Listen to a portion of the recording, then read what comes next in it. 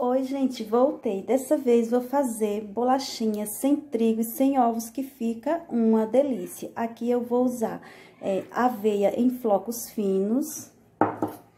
Vou pegar aqui três bananas, vou amassar bem.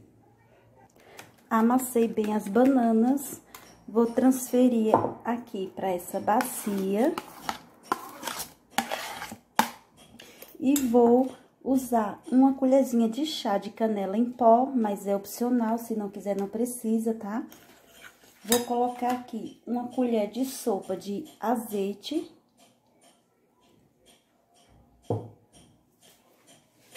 Vou misturar. Amassei bem, vou colocar uma, uma colher de açúcar demerara. Vou usar uma colherzinha de chá de fermento em pó. Vou misturar aqui. Misturei bem. Agora, eu vou colocar aqui farinha, é, farinha de aveia, que é os, os flocos de aveia fino. Eu tô usando esse aqui, ó, 100% integral, flocos finos de aveia. Vou misturar até dar o ponto. Amassei bem. O ponto é esse aqui, ó quando ela tá assim, ó, tá no ponto, vou pegar um pouco assim, ó. Vocês podem fazer a bolachinha do tamanho que vocês quiserem.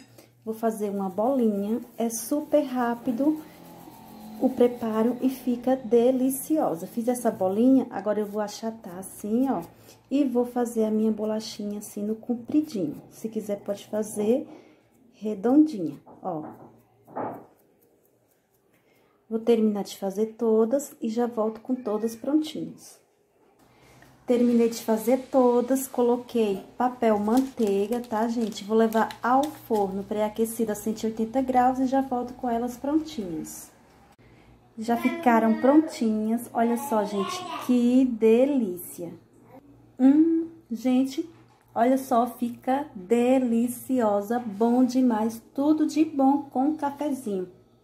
Se vocês gostarem do vídeo, vocês não esquecem de dar um joinha, se inscrever no meu canal, ativar o sininho para receber as notificações de cada vídeo que eu colocar. E compartilhar também, tá, gente? Tchau, até o próximo vídeo.